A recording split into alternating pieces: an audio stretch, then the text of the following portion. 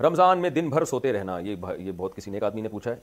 इन नेक आदमी का नाम है जी फ़हीम नवाब, शिकारपुर से पूछते हैं, अगर हम रोज़े की हालत में सारा दिन सोए रहें, सिर्फ़ नमाज़ के वक्त उठकर नमाज़ पढ़ें तो क्या ये सही है?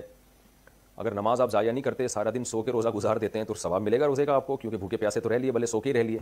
ना रखने से बेहतर है सारा दिन सो के रख लें। लेकिन जो रोज़ा नहीं रखते, वो कबीरा गुनाह के मुरतकब होते हैं। किसी भी तरह से मुकम्मल कर लें, रोज़े का सवाब आपको मिलेगा। लेकिन मशवरा मेरा ये है कि इस तकल्लुफ़ की आपको ज़रूरत क्या है? क्यों सो रहे हैं सारा दिन आप? थोड़ा चल लें, फिर लें, हिर लें, जुल लें। इससे सेहत भी आपकी अच्छी होगी, कोलेस्ट्रॉल लेवल कम होगा, फैट कम होगा, जिसम निथर जाएगा, थोड़े हैंडसम स्मार्ट हो जाएँगे, दिमाग रोशन हो जाएगा।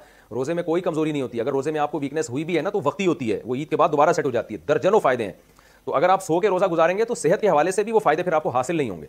और इबादत से भी आप महरूम हो जाएँगे, आप तिलावत करें, ज़िक्र करें, रोज़े में तिलावत, ज़िक्र का सवाब बहुत ज़्यादा हो जाता है। लेकिन जायज़ है बहरहाल, अगर आप फ़राइज़ वाजिबात पूरे कर रहे हैं तो सोते रहें आप, मुझे कोई एतराज़ नहीं है।